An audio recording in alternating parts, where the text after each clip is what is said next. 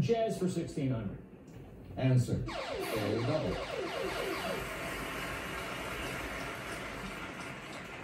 I will wager 3800. Okay, here is the clue. Born in New Orleans, Louis Armstrong performed songs named for these two local B streets.